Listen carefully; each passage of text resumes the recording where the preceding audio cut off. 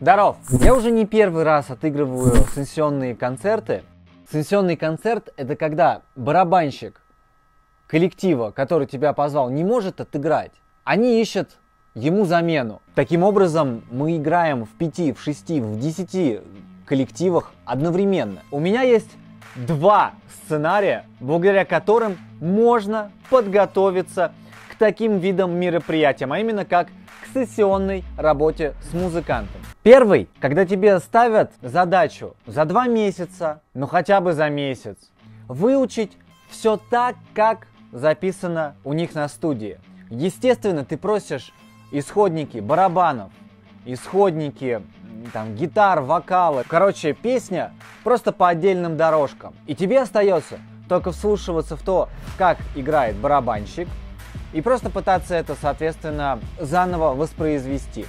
Но, как я сказал, это идеальный расклад. Любой идеальный расклад всегда бьется о второе, об реальность. Что, два месяца? Да, конечно, неделя. Через неделю концерт.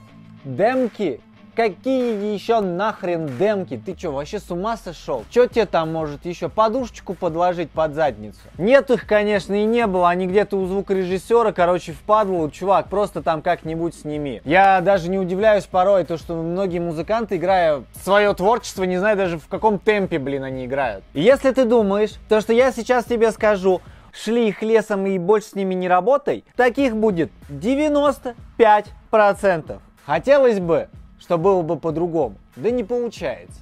Я хочу поделиться своими лайфхаками, вот как я готовлюсь и организовываю свой репетиционный процесс, чтобы выучить за короткий срок большое количество материала. Первый и фундаментальный совет – это согласование. Согласовать с коллективом, все моменты. Как мне отчитываться перед вами, да, по подготовке? Могу ли я уходить либо влево, либо вправо от оригинала трека? Когда мы сможем выйти на репетиции? За репетиции будет оплата или нет? За концерт будет оплата или нет? Чем дотошней ты будешь задавать людям вопросы и согласовывать ваше совместное мероприятие, тем оно у вас легче и проще пройдет. Как-то раз мне нужно было выучить 13 песен за 4 дня. И я пытался за счет своей головы, за счет памяти выучить. И на второй день подготовки я выучил всего 3 песни. Оставшиеся все 10 мне только тогда препод подсказал, начни писать просто в тетради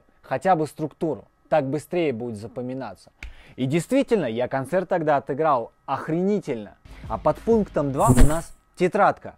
Начни с самой первой песни записывать структуру, не нужно тебе писать ноты, тем более, если ты их ни хрена не знаешь. Барабанщики делятся всегда на два типа. Те, кто, соответственно, требует партитуры и играет по партитурам, да, по нотам. И есть вторые, которые вот такие, как я, которые учат по фразам. То есть, мне достаточно написать себе вот в тетрадке куплет-припев, куплет-припев, соло, конец. Все, этого более чем тебе будет достаточно, чтобы хотя бы ассоциативно вспоминать структуру песни. Ну а под третьим пунктом у нас прячется видеоотчетная запись. Если ты готовишься сам, коллектив не знает, что там от тебя ожидать и как ты правильно или неправильно снимешь партию. Точно так же, как и ты не знаешь, что у ребят в голове.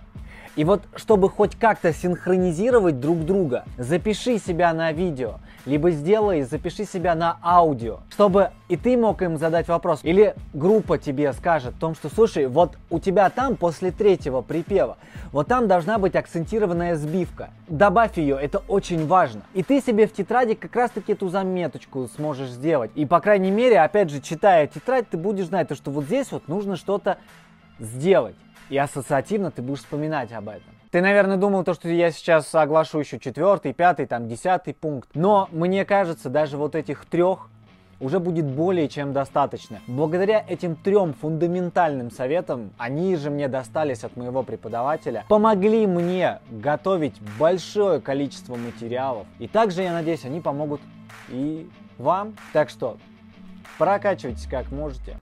Давайте, до следующего видоса.